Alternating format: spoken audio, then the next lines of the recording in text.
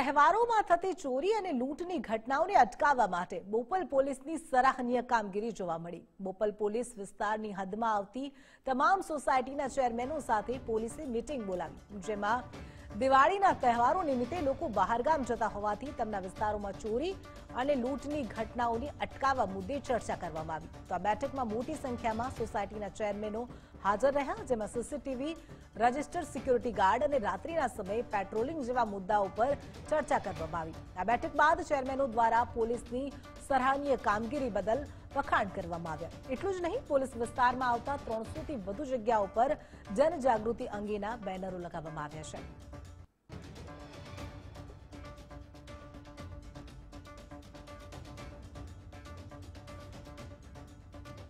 Police અધિક્ષક સાહેબને અને નામના પોલિટિશિયનના પીઆઈને ધન્યવાદ આપું છું કે અત્યારે આ દિવાળીના માહોલમાં એક આવું આયોજન થયું. એટલે પહેલી વાર આવું બન્યું છે. એટલે પહેલાં તો ધન્યવાદ અને અભિનંદનને પાત્ર છે.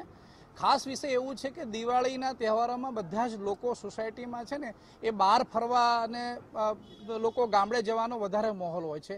અને એની સિક્યુરિટી માટે અને લોક- માટેને સુખ સારી સેવા મળી રહે અને ફરજના ભાગરૂપે એનું એક આયોજન કરવામાં આવેલું. અહીંયા જે રહીશો છે ગામડાઓના હોય પણ અહીંયા સિટીમાં કામ અર્થે આવતા હોય છે જે દિવાળીના તહેવારમાં ઘરે જતા હોય છે બધા. તો ઘરે જાય તો કિંમતી ચીજ વસ્તુઓ લોકરમાં રાખવી એ બાબતેના સૂચનો પોલીસ તરફથી એમને આપવામાં આવેલા છે.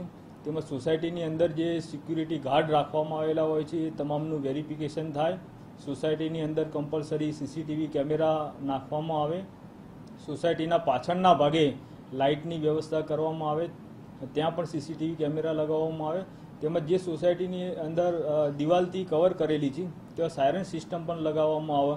આ બાબતના જે અમારા સૂચનો હતા એ બધા ચેરમેન અને સેક્રેટરી સાથે ચર્ચા કરી અને આ પ્રમાણેનું પ્લાનિંગ કરવામાં આવ્યું.